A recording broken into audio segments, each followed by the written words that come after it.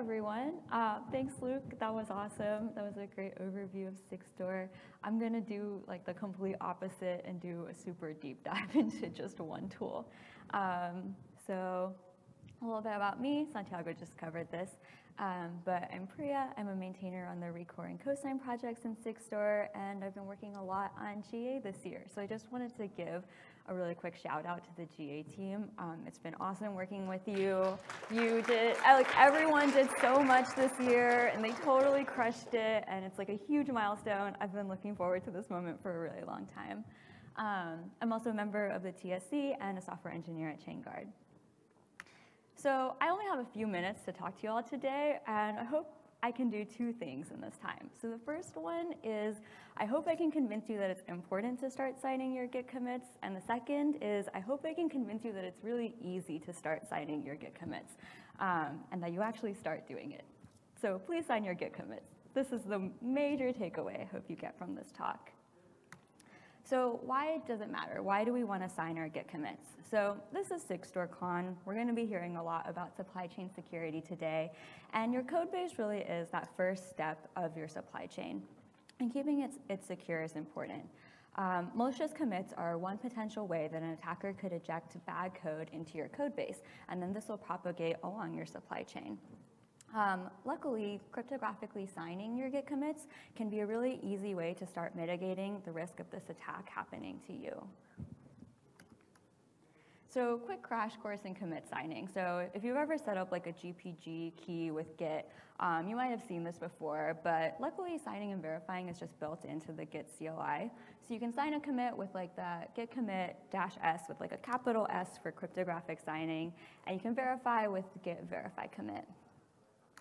But signing with like keys can be challenging. Um, it can be hard to set up these GPG keys. It's hard to like keep them secure. And as a developer, there are like a lot of things you have to think about if you're gonna go down this route. First, like, do you want to encrypt your key?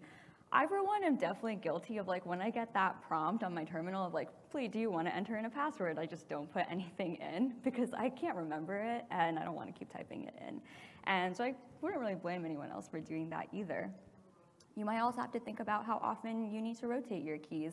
And as a developer, like you really just want to be writing awesome software every day. Like it's just not something you really want to think about um, and not something you have to worry about. So this is SigstoreCon. You probably guessed that if we combo git commit signing with like the awesome keyless signing properties of Sigstore, um, we can have the best of both worlds. So we can sign our git commits and we don't have to manage keys. And if we like combo wombo these two things, um, we get Sigstore's latest project, which is Gitsign.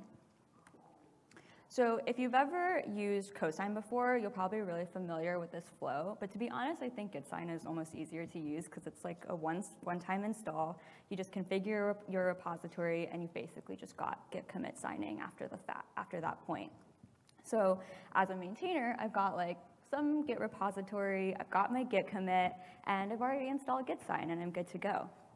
After that, every time I want to sign a commit, um, I'm going to be taken through the familiar OAuth flow um, that you've probably seen. Sign in with my email, prove my identity, and then Fulcio is going to issue me a certificate. The certificate is going to have my email embedded, and I'm also going to have a signature over my Git commit. Both the signature and the certificate will be included in the transparency log. And so this means that not just you, but anyone with access to this commit can actually verify it and see who signed it, which is pretty cool. So I'm going to do a really quick demo, move over to my terminal. Um, so I've already installed Gitsign, um, but I need to configure this repo to actually sign with it. So I've got this like cheat sheet script because I can't remember these things on my own.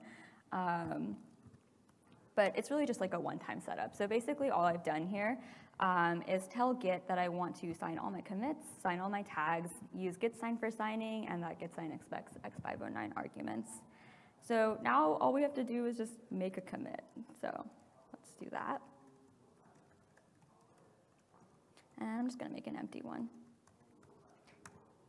And we're immediately sent through like the familiar OAuth flow. I'm just going to sign in with my email.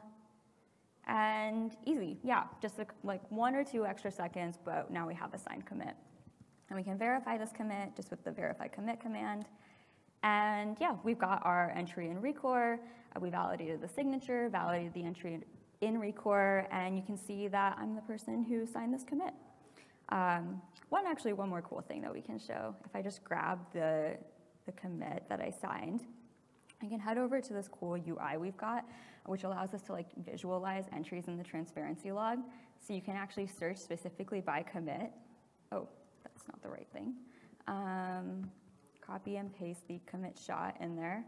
And yeah, we got some like cool information about the entry we just created. So it was integrated a few seconds ago into the log. We can see the signature.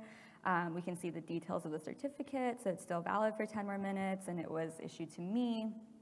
Um, and you can like see the actual entry itself and the verification that was done to prove that it's a valid entry in the overall log. Cool, so that's pretty much it. I want to say thank you to the Gitsign contributors. It's an awesome project and super easy to install, really easy to use.